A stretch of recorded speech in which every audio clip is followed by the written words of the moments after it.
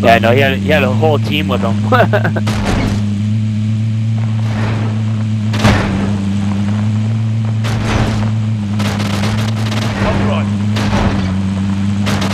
I don't know. Well, I, I reported him for team like 90 times. So what? I got the wheel. Repositioning. What do you do?